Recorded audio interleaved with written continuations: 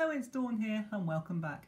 Well, we're going to finish this little series of putting life into our paintings by painting a person. Now, this isn't going to be a portrait or anything complicated. It's going to be a very simple person, perhaps walking away mid-distance. In fact, we're going to make it so simple that you won't even see the face. They're going to be walking away from us.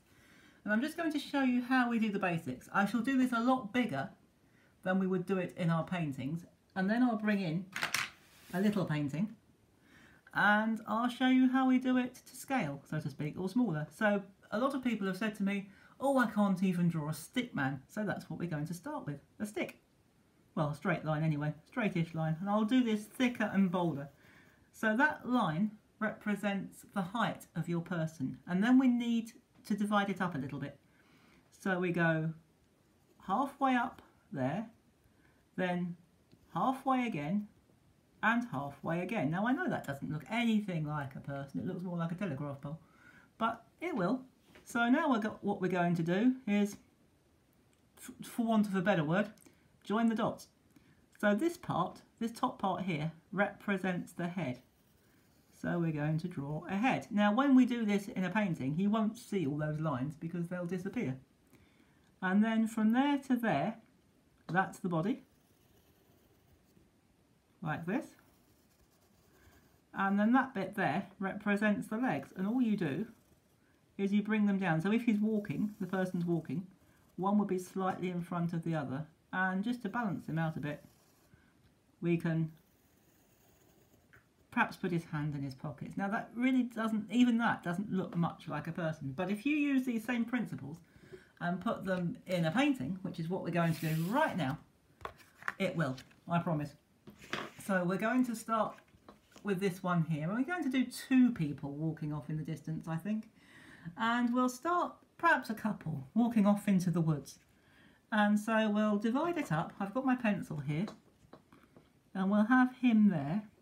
And we're going to divide it there, there, and there. And we'll do the same on the, the person next to him. Just like that. And I think we'll have him with dark hair. So if we start at the top, and he's got dark hair, so we'll just, in that little top section there, we're just going to put a dark, this is just the darkest brown I've got. Just use the darkest brown or black or whatever colour you want for your elements. And that's for his head. And I think we're going to give him a reddy brown jacket. So again, bring the shoulders out just a little and bring it down like that and then again fill it in. We're not going to put any water on this because they're so small they don't need water. So just pop them on like that and it'll be fine.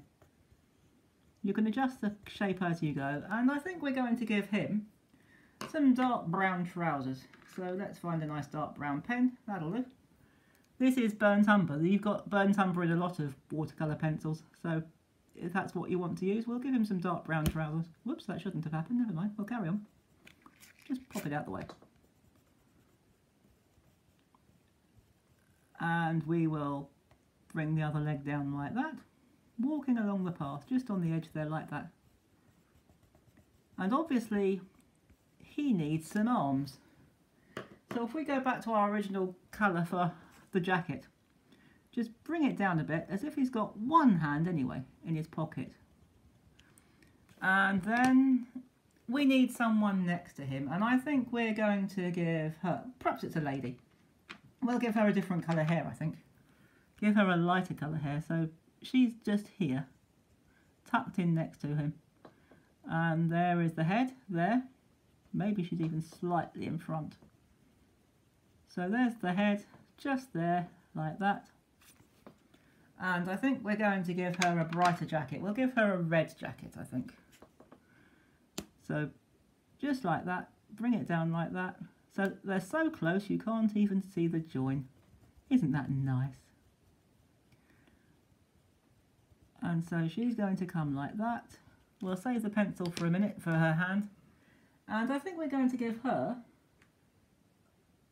I was going to give her some dark blue trousers, but I've lost... Oh, there we go. We're all right. I'll carry on. We're going to give her some dark blue trousers.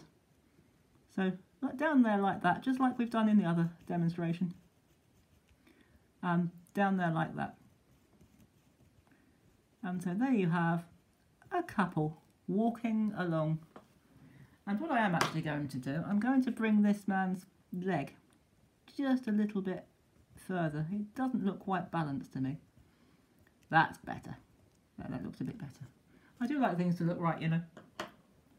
And we'll have her, again, have her arm coming down into her pocket, or her hand coming down into her pocket. And as they're a couple, maybe we'll even have him putting his arm round her, just a little bit, like that. And there we have a couple walking off into the distance. And if you wanted to, you could use a darkish blue to add some shadow.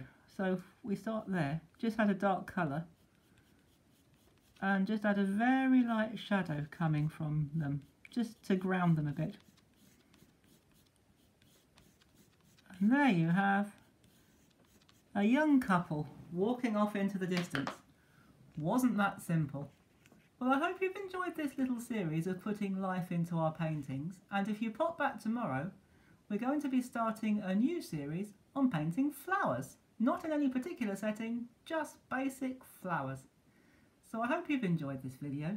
Please do stay very safe, have fun with your paintings, and I'll see you tomorrow. Bye bye for now.